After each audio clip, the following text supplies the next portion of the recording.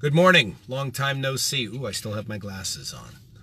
Ivor Chester here, your balance coach. It's good to speak to you again.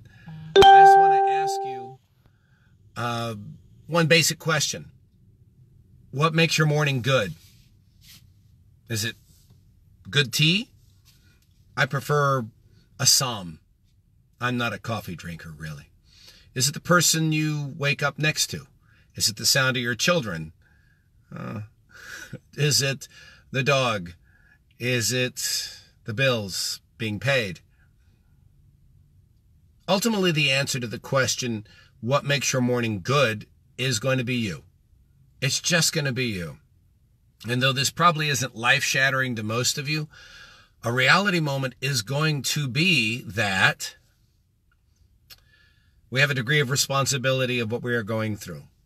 When the crap hits the fan, we have to remember who threw the crap and why you're sitting next to a fan in the first place and why did it have to go through it. Hmm? There's a place for crap and it's not normally in an air motion device.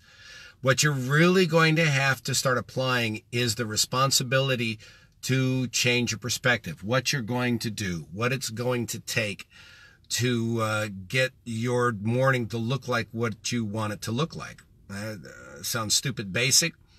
Just a very small example. Uh, I have a contract at 10 o'clock in the morning.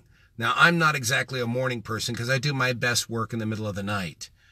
However, I have to be up here at 10 o'clock, which is rather late in the morning, but nevertheless, I have to drive across the Metroplex to get to Arlington from uh, my home in Irving to get here. The um, uh, sometimes when I I leave because I I wait to the very last minute and I get here and it's um, it's rush and it's traffic and it's there's always those jerks that are in front of me. You know, normally it's me. And uh, the reality moment is going to be that this morning I left about 10, 15 minutes early. I ended up getting here about 20 minutes early. Uh, why? Well, because I, I don't know. I don't have an answer. I, you know, a time warp, uh, Stargate.